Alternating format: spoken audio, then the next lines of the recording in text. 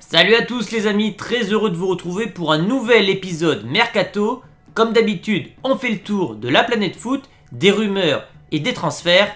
C'est parti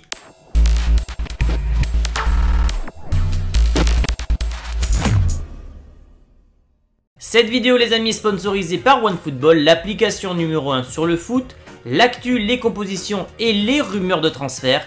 L'application est gratuite, disponible sur iOS et Android, le lien est dans la description.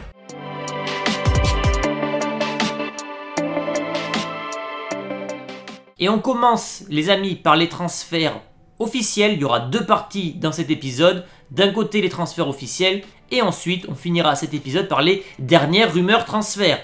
On commence donc par Sandro Tonali, la pépite italienne, le nouveau Pirlo qui va quitter Breccia pour le club de son cœur, le Milan AC. Ce dernier avait un accord pour rejoindre les Nerazzurri. Il a finalement fait machine arrière pour rejoindre l'ennemi juré, l'AC Milan. On parle d'un prix de 10 millions d'euros avec obligation d'achat de 20 millions d'euros en plus. Un sacré coup du coup pour l'écurie de Stefano Pioli. Toujours du côté du Milan AC les amis, c'est Zlatan Ibrahimovic qui a réussi une grosse deuxième partie de saison avec les Rossoneri.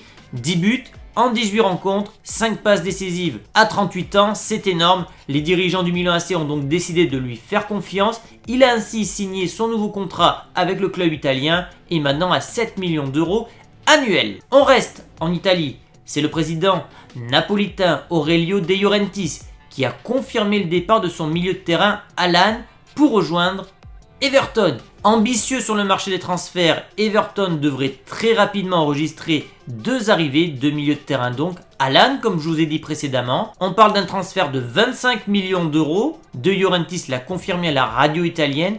On parle également de l'arrivée de Rames Rodriguez. Le dossier ne fait plus aucun doute. Sky Sport explique en effet qu'un accord entre le Real et Everton pourrait être trouvé dans les 48 heures à venir avant la traditionnelle visite médicale. L'ancien monégasque va donc retrouver un coach qu'il a déjà côtoyé chez les Merengues et au Bayern Munich, Carlo Ancelotti. Vous l'avez vu sur la miniature, il était espéré du côté du Barça avec son entraîneur hollandais Ronald Koeman Finalement, Denis Van de Beek va s'engager du côté de United, qui va officialiser son arrivée incessamment sous peu. Il était convoité par les plus grands clubs européens, le Real, le Barça, mais non, le milieu de terrain Batav va quitter l'Ajax d'Amsterdam pour rejoindre la Première Ligue et Manu, un contrat de 5 ans jusqu'en 2025 qui attend le milieu de terrain. L'Ajax d'Amsterdam va de son côté toucher une indemnité de transfert de 40 millions d'euros qui entre nous pour un club anglais ne représente pas grand chose et pour un joueur de ce talent également. Van de Beek a dit adieu à ses coéquipiers ce lundi et l'officialisation ne devrait plus tarder. Je reste et je veux retourner en finale. Ce sont les mots de Neymar qui va continuer l'aventure avec le club parisien alors que ce dernier est habitué à ne pas parler dans la presse lors des périodes de mercato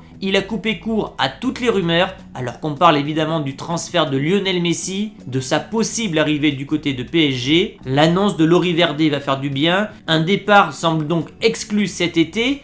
Il reste maintenant à accélérer les négociations concernant un éventuel nouveau contrat. Je rappelle qu'il lui reste seulement deux ans. Et si ce dernier ne prolonge pas avec le club parisien, il pourrait donc partir dès l'été prochain.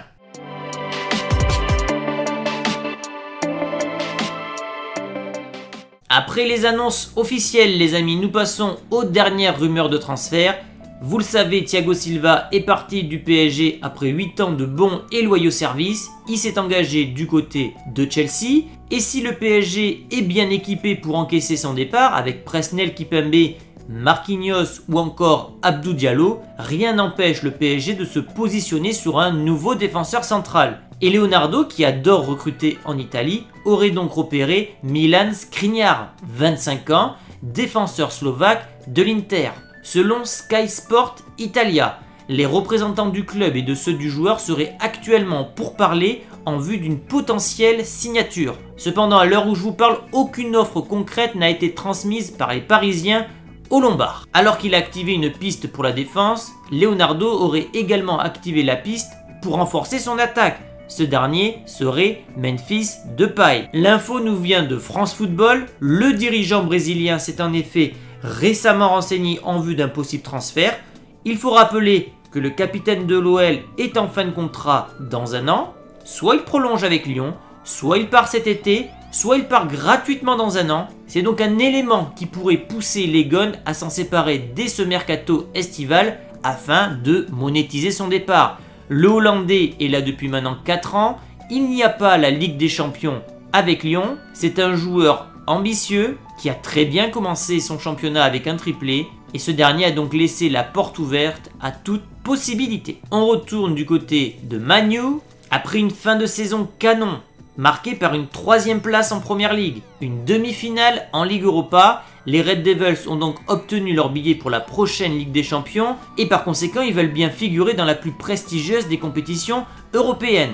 Je vous ai parlé du recrutement de Van de Beek et d'après ESPN, leur cible prioritaire n'est ni plus ni moins que le français Upamecano, le défenseur de Leipzig a séduit Manu lors de ce Final 8 et malgré sa récente prolongation de contrat jusqu'en 2023 avec Leipzig, les Anglais espèrent pouvoir recruter le jeune français qui vient d'être appelé pour la première fois de sa carrière en équipe de France. Il faudra du côté de Manu d'abord dégraisser Smalling, Rojo, Bailly et surtout claquer la clause libératoire du français qui est actuellement de 50 millions d'euros.